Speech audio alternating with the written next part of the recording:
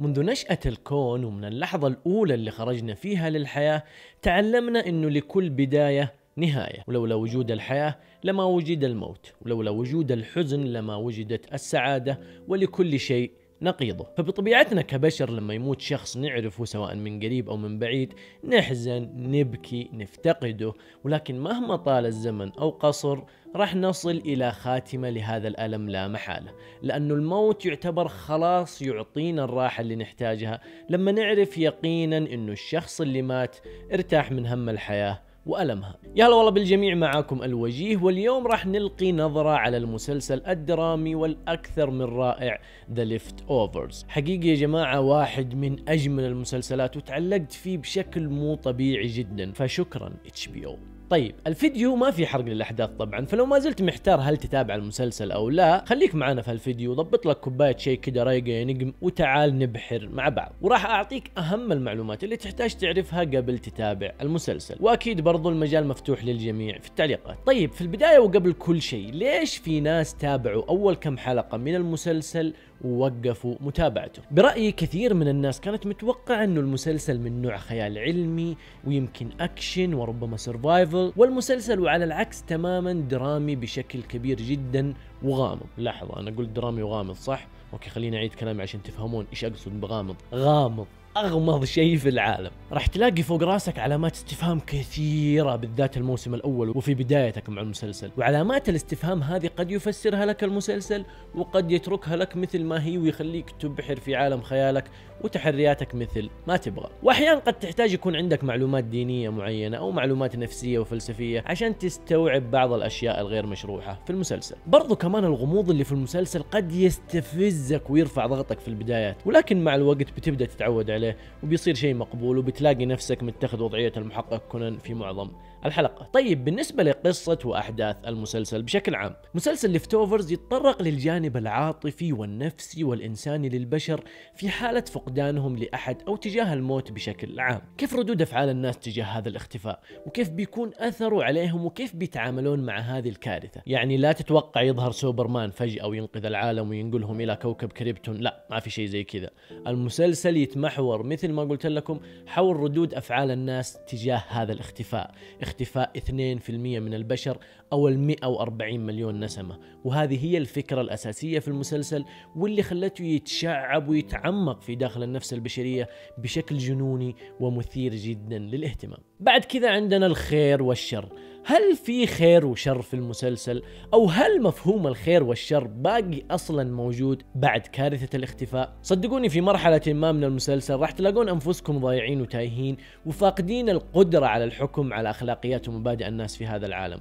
وبتفهم الكلام أكثر لو تابعت المسلسل وتعمقت فيه. بعد كذا عندنا هل الأديان لها دور أو مكان في المسلسل؟ طيب هذا الموضوع شوية شائك. فركز معايا عشان لا نتضارب أنا وأنت بعدين. الله يخليك. في المسيحية حادثة الاختفاء وردت في الكتب السماوية وتسمى بالاختطاف وهو أن الإله في نهاية الزمان راح ياخذ الناس الصالحين للسماء ويترك الفاسدين والكفرة على الأرض لحالهم. برضو في الإسلام يقال أن يوم القيامة ما راح يجي إلا على أشر الناس وأن الناس الصالحين راح يموتون أو راح يأخذهم الله قبل يوم القيامة رحمة منه بهم. فيا بتحتاج تعرف هالمعلومتين لأنها بتساعدك في حل بعض الغموض اللي في المسلسل. أما بالنسبة للشخصيات يا جماعة الشخصيات اللي في هالمسلسل من النوع اللي بعد ما تخلص المسلسل تروح تفتح جوجل وتبحث عنهم وعن تاريخهم وأعمارهم وجنسياتهم وأصولهم وقد يصل بك الحال إلى أنك تحط صورهم خلفية لجوالك أو صورة العرض تبعك. يب ما أمزح. حوارات الشخصيات جدا متقنة والتمثيل من أروع ما يكون وقل ما تجد ملاحظات على أداء أي شخصية سواء الشخصيات الرئيسية أو غيره وبرضه معلومة مهمة ترى ما في شخصية رئيسية تقريبا في المسلسل في شخصيات كثير. بالنسبة لنهاية المسلسل هل نهاية المسلسل جيدة؟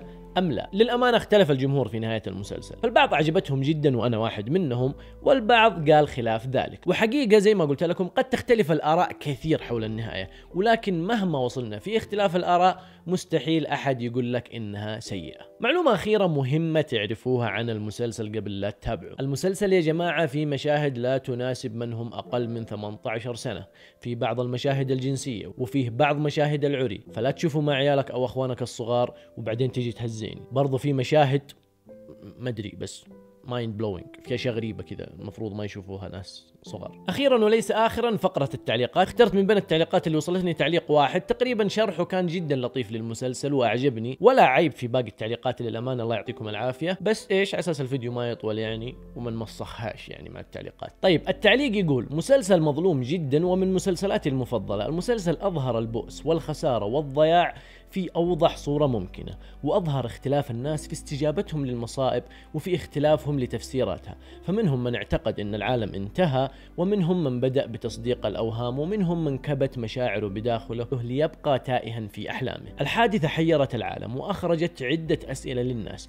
أين ذهبوا؟ هل هم أحياء أم أموات؟ ما سبب الحادثة؟ لماذا هم من اختفوا دون غيرهم؟ لماذا لازلنا هنا؟ فمن خلال طرح أسئلة كهذه قد تدفع الإنسان للجنون المسلسل خلال ثلاث مواسم طرح الكثير من الأسئلة لم يجب إلا على القليل منها وباقي الأسئلة متروكة للمشاهد ليبحر في مخيلته بحثا عن الإجابة وهذا الأسلوب رغم صعوبته إلا أنهم أتقنوه لأبعد درجة بعض الأسئلة لها أكثر من جواب مثل النهاية شاهدت المسلسل مرتين وفي مشاهدتي الثانية لاحظت بعض الأمور التي غفلت عنها في المرة الأولى ولم تقل متعة عن أول مشاهدة أبدا. والكاست كان جدا ممتاز وطاقم الممثلين رهيب. أبدا ما شفت أي ممثل ما عجبني. تمثيل شخصيتي كيفن ونورا من أفضل ما رأيت. طاقم يجبرك بالاندماج مع الحلقة أو في الحلقة. ولا ننسى ما قدمه ماكس ريتشر من معزوفات خيالية كفيلة لشد انتباهك وتحريك مشاعرك. خلاص كفاية حسيت أني كثرت كلام. للأمانة تعليقك جدا جميل ويا ليتك ذكرت اسمك كان ودي أشكرك شخصيا لأنه تعليقك صراحة آه، قلب مشاعري كذا وخلاني يعني أحس بشعور جميل تجاه المسلسل لأني حاليا دوبني خلصته وحس كذا بحزن يا جماعة بحزن كذا في فراغ داخل okay آه برضه نقطة أخيرة الموسيقى التصويرية ال soundtrack يا جماعة شيء شيء عجيب نسيت ما أذكره في الفيديو وصاحبنا في التعليق ذكرني فيه. wow.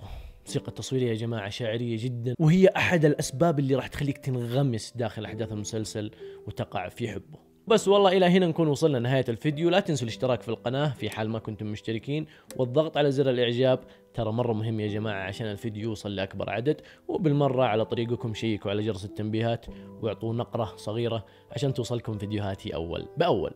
كان معكم الوجيه في أمان الله.